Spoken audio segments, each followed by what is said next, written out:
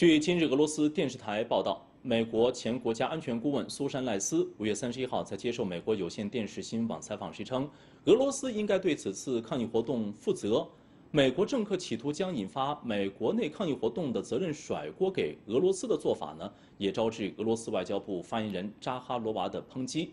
六月一号，扎哈罗娃在一档电视节目中表示，美国连自己国内的人权问题都处理不好，更无权对他国指手画脚。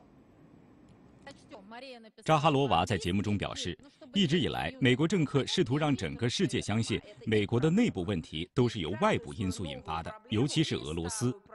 此次全美爆发抗议活动，美国政客再次企图将责任甩锅给俄罗斯。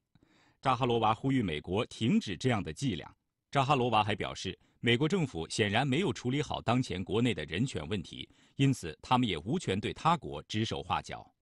делать кому-либо на этой планете замечания относительно правочеловеческой проблематики. Все. Вот на сегодняшний момент этого права у них больше нет. Я думаю, что они не случайно вышли не так давно из Совета по правам человека, возможно, предвидели.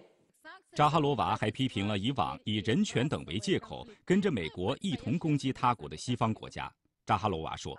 连日来，面对美国警察的暴力执法和美国国内的抗议活动，西方国家集体失声，没有发表评论或对局势表示关切，这再次揭示出西方国家双重标准的真实面目。